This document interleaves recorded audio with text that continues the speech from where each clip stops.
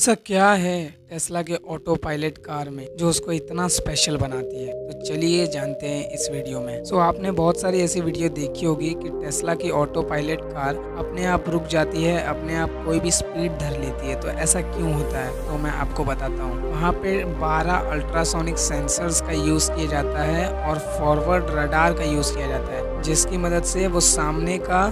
road पता कर लेती है वहाँ पे क्या है और वहाँ पे आठ कैमरास भी यूज़ किए जाते हैं 360 डिग्री वाले जो वो अपने चारों साइड देख लेते हैं और पता कर लेते हैं आगे कौन सा ऑब्जेक्ट है वो डिटेक्ट कर लेते हैं और उसकी मदद से वो गाड़ी रुक जाती है मैं आपको बता दूँ वो आठ कैमरा 250 मीटर दूर तक देख सकते हैं तो अगर कोई बंदा 250 मीटर दूर खड़ा है तो उसे वो पहले ही डिटेक्ट कर लेगा और वो अपनी स्पीड पहले से ही रिड्यूस करने लगेगा